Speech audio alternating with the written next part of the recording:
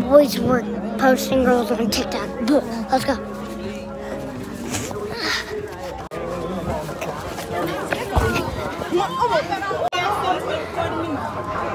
I left that hammer down there.